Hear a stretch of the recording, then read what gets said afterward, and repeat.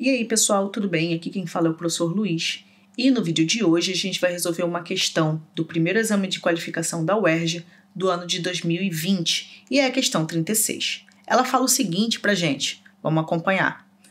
Para romper uma ligação de hidrogênio de um mol de DNA, é necessário um valor médio de energia de 30 kJ.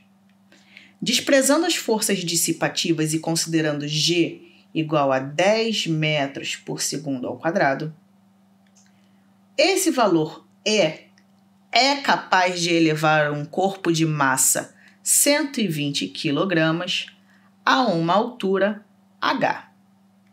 O valor de H em metros corresponde a quanto? Nosso primeiro passo nessa questão é colocar os dados. O primeiro dado que foi fornecido foi o de energia. A energia vale 30 kJ. E se você já quiser, você já pode converter.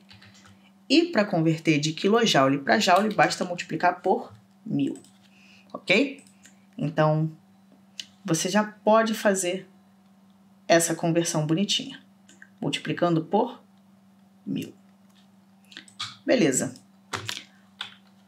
A segunda informação fornecida pela questão é que o valor da aceleração da gravidade é 10 metros por segundo ao quadrado.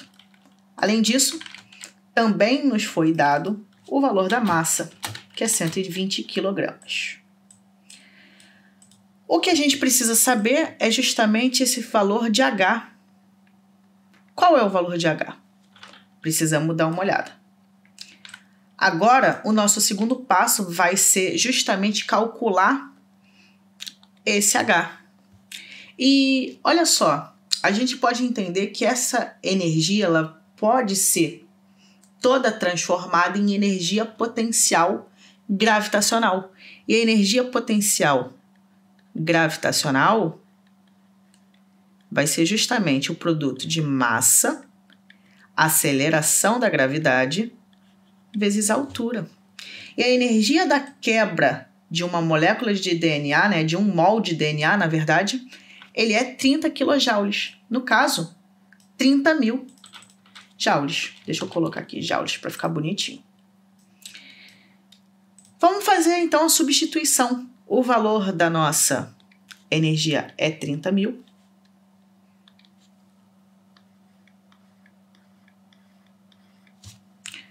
O valor da nossa massa, ele deu para gente, vamos dar uma olhada nos dados, 120 quilogramas.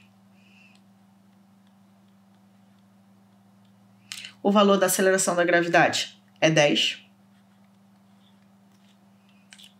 E o valor da altura é o que a gente quer achar, então vou colocar de vermelhinho. Vamos lá. Eu vou fazer agora esse produto. Eu vou fazer o produto de 120 vezes 10. 120 vezes 10 vai ser igual a 1.200. Então, vou reescrever aqui a nossa conta. 30 mil igual a 1.200 vezes H.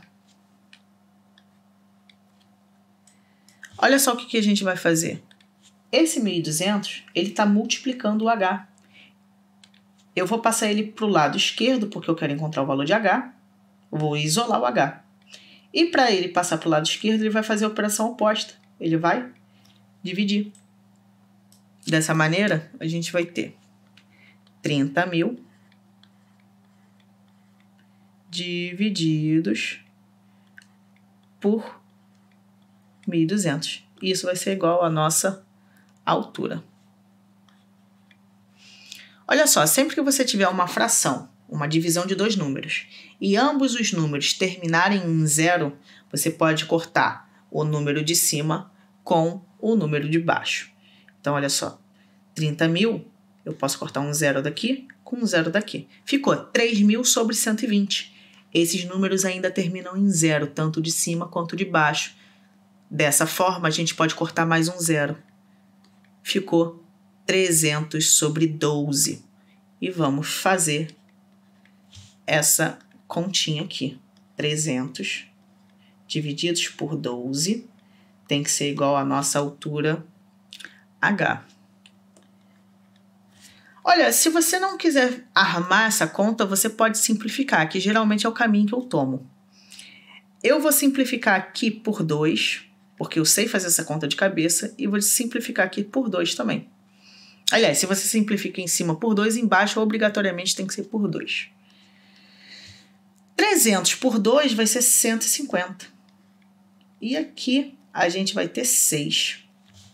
Olha que interessante, eu posso simplificar aqui por 3. E aqui eu posso simplificar também por 3. Deixa eu colocar aqui a altura. Essa continha vai ser quanto? Vocês sabem dizer? 150 por 3 vai dar 50. 6 por 3 vai dar 2. E isso vai ser igual a 25. A nossa altura vai ser de 25 metros. Deixa eu colocar aqui a altura H. Se eu for olhar o gabarito, a gente vai encontrar a alternativa da letra A. E assim, a gente vai ter essa questãozinha assim, dessa forma, finalizada. Agradeço a sua atenção até aqui, desejo a você ótimos estudos e até o próximo vídeo. Tchau, tchau!